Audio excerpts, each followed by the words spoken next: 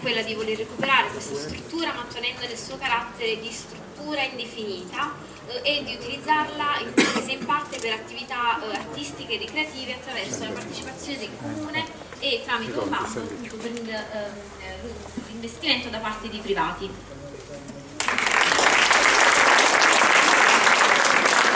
Il nostro percorso concettuale prende il nome di Invadiamo, ovvero diamo un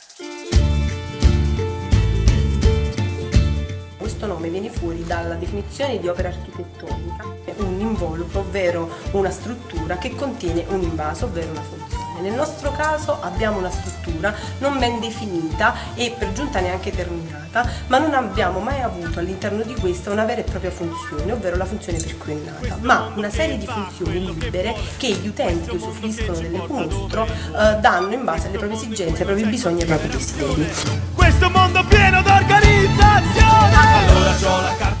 Nel nostro caso quindi vogliamo utilizzare l'ala eh, sud-ovest eh, dell'ecomostro, soprattutto il primo piano e il primo piano del corpo centrale che presenta soltanto una struttura. Eh, non dargli una funzione definita ma una funzione temporanea variabile eh, che prevede attività culturali e artistiche di ogni genere, dando la possibilità quindi ad identità eh, culturali eh,